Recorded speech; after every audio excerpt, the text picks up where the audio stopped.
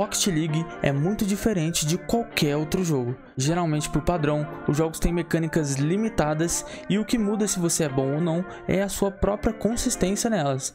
Por exemplo, no Valorant, é bom quem tem uma mira consistente e noção de jogo, aplicando as mecânicas das skills bem e isso facilmente é aprendido com alguns testes, testando algumas vezes os bonecos. Então, só de usar algumas vezes você já consegue entender como funciona. Mas no Rocket League isso não acontece da mesma maneira. Por isso, você pode ficar perdido quando você tenta melhorar e não sabe para onde ir. E sejam todos muito bem-vindos eu sou o Strove e hoje eu vou te mostrar o que cada rank precisa para aprender e masterizar aqui no Rocket League. Assim eu espero que dessa forma consigam ter uma ideia do que aprender e qual caminho seguir para que não fiquem tão perdidos dentro do jogo quando estiver subindo seu rank, tudo bem? De começo a gente vai ter os ranks iniciais, o bronze a gold. Esses ranks, é, esses ranks iniciais geralmente estão quem não tem muita noção da mecânica do jogo, não sabe muito bem como o jogo funciona, pois é um player iniciante. Rocket League não é só entrar e jogar, é necessário que você fique confortável no jogo. Então a gente vai mexer muito nas configurações padrões, porque elas são muito ruins para quem é iniciante e não existe player profissional que use as configurações padrões do jogo até hoje. Então vamos mudar a câmera, sensibilidade e controles e para que deixe o mais confortável para você. Se você é iniciante, não entende muito bem, não sabe como colocar uma configuração boa, pode ver meu vídeo que está aí no card, melhor config feita para você. Nesse vídeo eu ensino e te mostro uma config muito boa, além de te ajudar a configurar o seu jogo para você mesmo. Depois de arrumar seus configs, você precisa ter ciência de espaço e tempo. Jogadores novos não têm noção e têm muitas dificuldades de acertar a bola. Então é necessário ficar no free play chutando a bola até que você não erre ela, tanto parada, tanto em movimento. Outra mecânica do jogo é tirar a câmera da bola, sempre que for pegar um boost para não errar ele e ou pegar informação, fazer chutes mais precisos então você precisa aprender a usar o ball can off quando necessário, tudo bem? E agora que você sabe do básico, a gente e você já saiu do seu gold, a gente vai passar para os próximos ranks, que são os platinas e dimas. Aqui você já entende como o jogo funciona e suas mecânicas principais tem mais noção de tempo e espaço dentro do campo, mas precisa melhorar sua, indi sua individualidade. Aqui será necessário treinar e masterizar a mecânicas de recovery para aumentar sua velocidade em campo. Então, Wave Dash, Half Flips, Speed Flips, mecânicas que aceleram o seu carro para voltar ou atacar mais rápido. Aqui vocês precisarão dominar a parede, então precisarão, se necessário, saber chutar a bola saindo da parede, fazer redirects, tirar e realizar blocos também pela parede. Então é necessário que você masterize nesse rank o controle do seu carro como um todo, pois no começo é bem difícil controlar seu carro. Outra mecânica essencial para você aqui nesse rank são os bouncing dribbles. Essa mecânica é boa para fakear e também para finalizar com um chute preciso e muito forte. Bounce Dribble é dominar a bola fazendo com que ela fique quicando no chão. Assim você tem mais possibilidade de plays e ângulos para chutar. Uma mecânica importante nesse rank, nesse rank, além dos Bounce Dribbles, também são os domínios e flicks.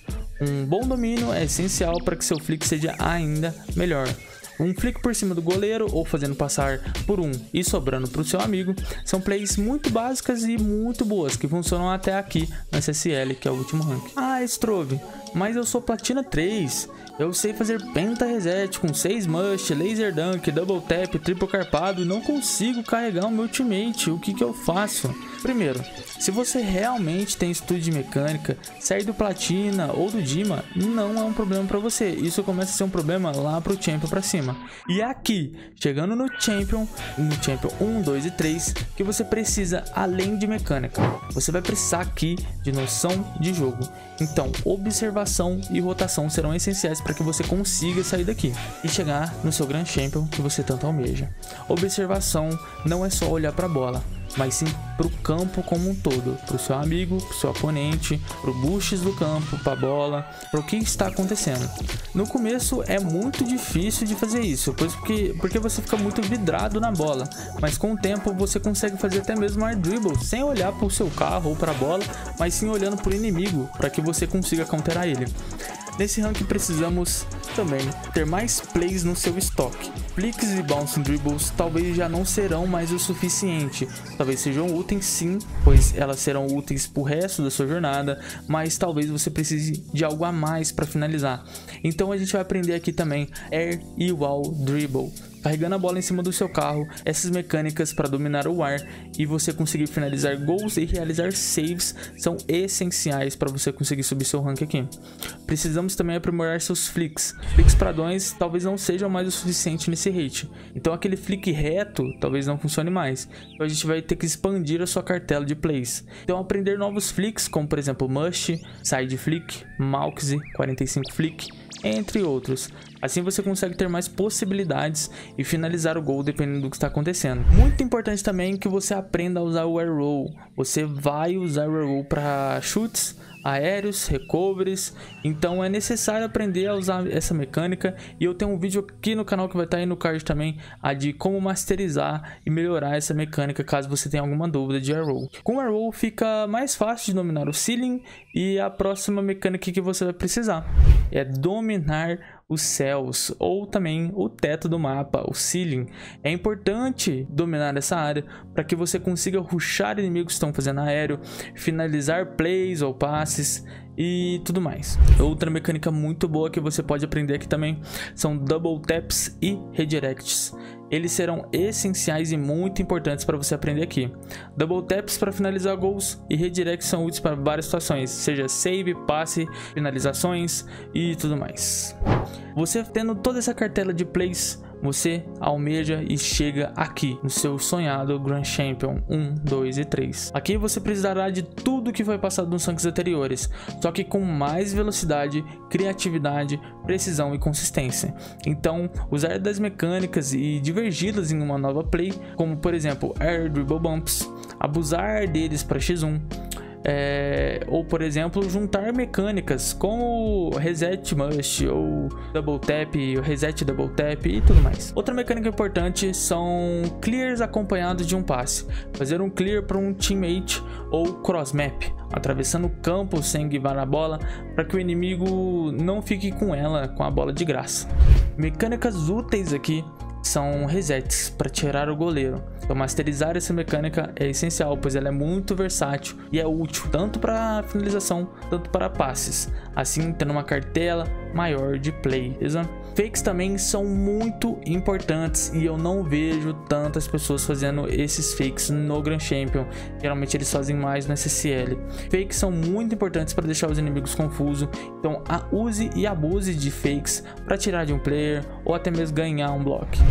E também, eu acredito que seja o mais importante para quem seja Grand Champion, é o Boost Management. Guardar boost o suficiente para finalizar suas plays, fazer um gerenciamento de boost bom para que você sempre fique ativo no jogo. Então, acredito que esse seja o fator mais importante para o Grand Champion que queira sair do Grand Champion e chegar no Supersonic. Agora o SSL. É... Existe alguma mecânica que só os SSL sabem fazer? Na resposta é não. O SSL nada mais é do que um Grand Champion com mais consistência e velocidade. O que conta nesse rank é tempo de jogo. Então, jogar mais para manter sua consistência e ter um ótimo controle de campo e boost para se manter rápido e ativo a todo momento. É, e também a tomada de decisões. Geralmente SSL são mais espertos nas decisões, juntando com a velocidade e consistência. Isso os tornam SSL, tá? E por que que os SSLs têm umas tomadas de decisões maiores? Porque eles são mais consistentes, eles jogam mais tempo, eles têm uma quantidade, uma intensidade maior de jogo. Então, quanto mais você jogar, mais você fica ligeiro para as coisas que acontecem. Coisas, o Rocket League é um jogo querendo ou não limitado, então você consegue perceber padrões do que acontecem a cada movimento. E esse foi o vídeo, rapaziada. Se esse vídeo te ajudou de alguma forma, eu peço o seu like e inscrição aqui no canal. Se vocês ainda estiverem com dificuldade em alguma coisa, eu faço sessões de coach. Para saber mais, pode entrar lá no Discord do canal. O link vai estar tá aí na descrição. Um abraço quente por trás. Tchau.